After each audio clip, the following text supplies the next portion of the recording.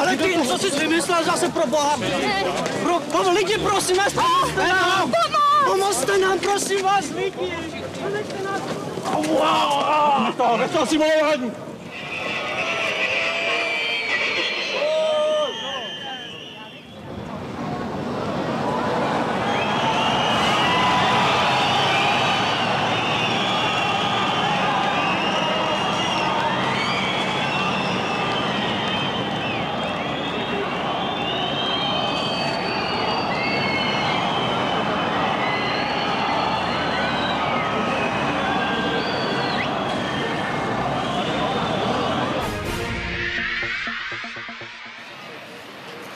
Zprávy o údajném úmrtí účastníka pátečního studentského pochodu doprovázely západní rozhlasové stanice a agentury výzvami k pětnímu aktu na Václavském náměstí v Praze.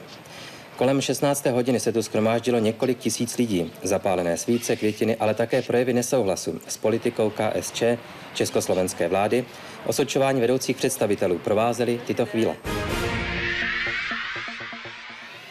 Také v průběhu dnešního dne se na více místech našeho hlavního města sešly početné skupiny občanů. Předmětem diskusí byl současný vnitropolitický vývoj v Československu, komentáře k událostem uplynulých tří dnů, k postojům studentů pražských divadel, umělců, novinářů. Toto jsou záběry z dopoledních hodin na Václavském náměstí. Odhadli jsme počet přítomných přibližně na 2000. Podstavec sochy svatého Václava byl obložen květinami, státními vlajkami a příchozí na něm zapalovali svíčky. Mnozí místo po chvíli opustili. Schromáždění probíhalo za asistence zahraničních televizních štábů v klidu a bez jakýchkoliv rušivých vlivů.